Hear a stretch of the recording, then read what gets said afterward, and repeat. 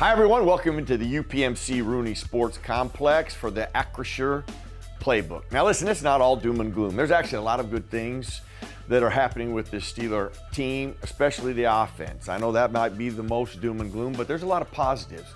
And it's not just Kenny Pickett. Jaylen Warren, I know a lot of people started to hear about him, the kind of player he is. I want to show you a couple of plays that make him truly a special player, and every down player, if you will. His ability to block and adjust. I think that's one of the most important things a runner has to do. Now, first of all, let's look at how they're going to protect this as an offensive line. You know, they're sliding this way initially. For the reason for that is because you got four defenders over here. Now, the tackle ends up sliding as well. I'm not so sure he's supposed to come back this way, which actually speaks really to Jaylen's adjustment and how you got to be as a football player. There's going to be mistakes made up here at times. This guy right here has to make adjustments, and he does this right here. It's a great example of it. This is what I like about him as a football player, not just how he runs the football, how he can adjust and make up. Now, let's talk about the fundamentals here. Okay, so this is same foot, same shoulder, rising blow, first contact wins. This guy right here outweigh, outweighs this guy by 100 pounds, at least. But when you play football right and you know how to play it, this is how you win football. That's a defensive end. This is a line, a running back. Not the matchup you, that you like on your offense, but he helps from this quarterback taking a hit. Pickett doesn't take a big hit because he makes a great block and he adjusts beautifully. And I can't be more text perfect in how he goes about blocking. That ends up being one of the best plays he makes in the game. His quarterback doesn't take a hit. I know he ends up getting hit, but not a big hit like he would have gotten had Jaylen not made that adjustment. Now, this is where I think he is truly special as well.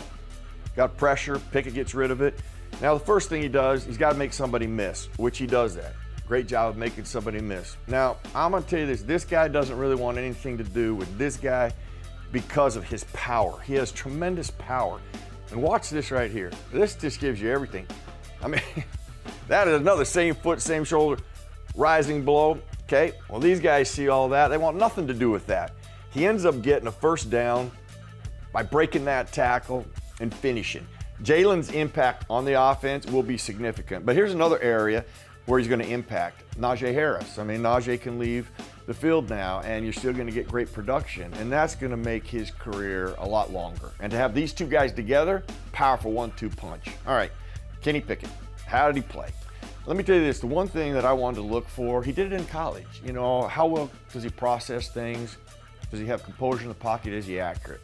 Well, all those things were on display. He did all of those things. I want to show you one play in particular that really illustrates just how hard it is to really process things, and especially in man coverage. You know, when you got man coverage across the board, you know, you're going to have people in tight coverage, you know, and that's not just your wide receivers you're going to be looking for, you know. You got other bodies, you know, these these defenders are going to be a part of this process. So I want to snap the ball and I want you to see what I'm talking about processing. You know, this happens very quickly. Now, I understand that uh, Pickens does a great job right here. You know, he pushes him down, but he's not to the top of his route till about here. So that's why, you know, Pickett doesn't throw it to him right away. Well, let's go through now all the things that he's seeing and trying to process. You got all of these guys running man routes.